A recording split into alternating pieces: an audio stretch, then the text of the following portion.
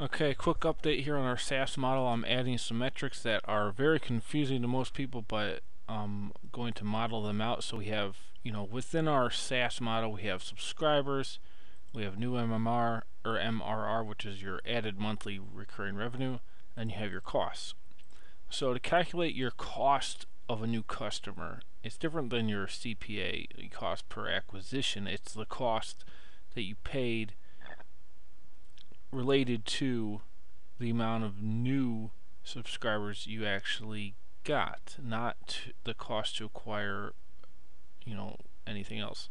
So, we have $178 here. What does that mean? It's taking your sales marketing divided by your total added subs. So you paid this much in sales and marketing, you added this many people. $178 a person. You can see how that fluctuates over time and it seems to be lower than higher. That's all going to depend on what your cost assumptions are. Then, even further, we have our CAC payback, which is in months. So this says based on the monthly recurring revenue that you added, how long will it take that monthly recurring revenue that you added this month to pay back the total cost that it that was incurred to get that. And so you got to multiply your um, new MRR divided by your gross margin, which is 1 minus the cost of sales of that year on average. So that's what I use for that.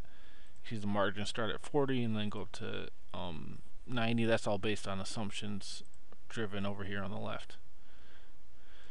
So this says, well, it's going to take you 22 months to pay back the cost to acquire those new that new monthly recurring revenue based on your gross profit of that revenue. And you see over time there's some changes.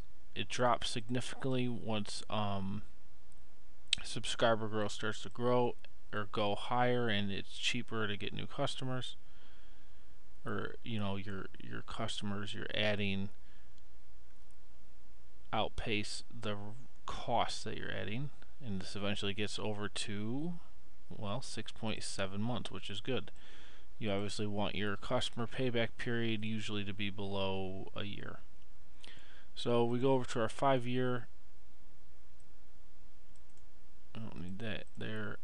Um, go over to our visualization. We have our customer acquisition cost by dollar over time and our customer acquisition cost months to pay back that customer acquisition cost me relabel that. Wants to pay back CAC. And you can see that's obviously getting lower, and that's good. You want the amount of months it takes to recover that to go down over time. Now, all the all everything is going to be based on how you end up changing your assumptions to fit what you think is going to happen. But the logic here works for you, and you can see how that changes over time. I'm also going to add a valuation here um, on the annual so we got discounted cash flow. And real simple we'll put our assumptions here so discount rate.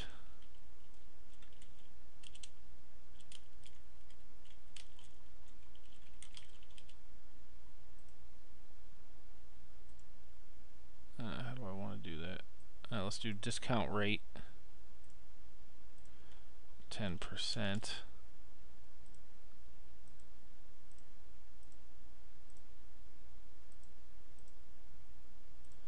Uh, okay, so I'm doing blue text for editables.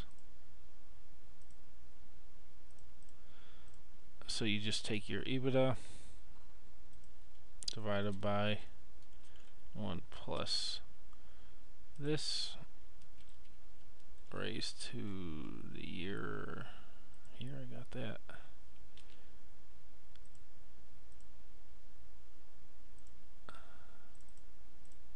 So there's your discounted cash flow. Oops. Lock B. And then um,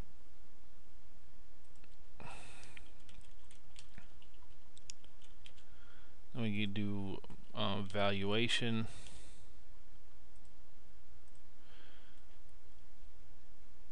Now, here's a general thing. If your margin are margins are 70%, here we're at 90, here we're at 40. If your SaaS model is at 70% gross margins, you can generally do a five year annual recurring revenue as your valuation. So if we did there, that model, we would do annual recurring revenue, this times multiple of 5. And actually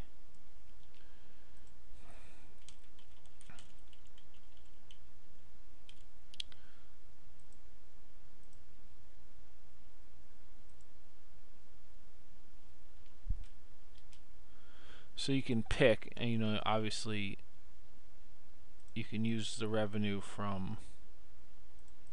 Actually, we could just use each year and roll that over. So here we end up getting to a value of four million.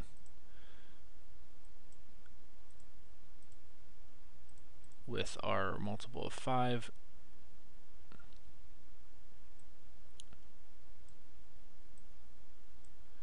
let's also go net present value. Just trying to put all this right below the financials.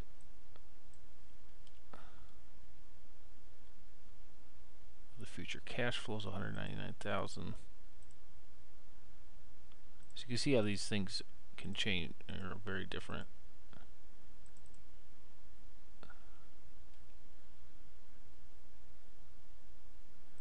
Um, there's also enterprise value. You take, you know, uh, let's see. Let's do that. So enterprise, let's take um, net present value. Let's do our 10% discount rate.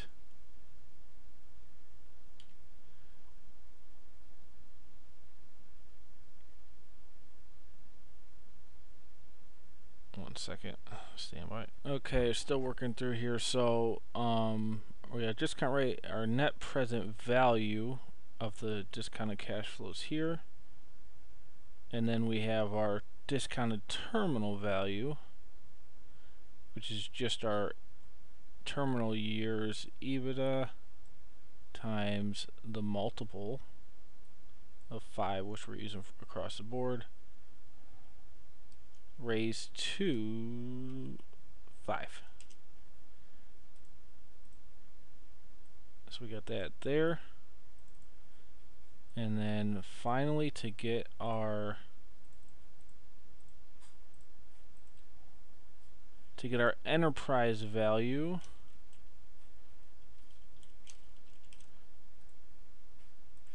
you go sum of that 973,000.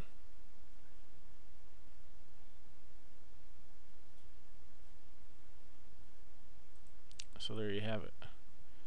And then here's just, this is just like different valuations if you just do a multiple of the EBITDA and make that multiple 5. So it's just like a little helper there.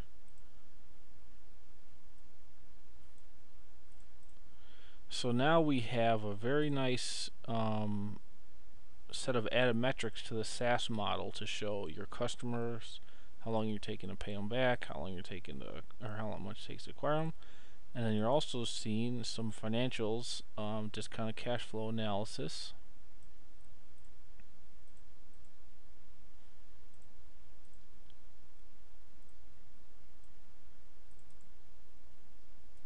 Which is nice.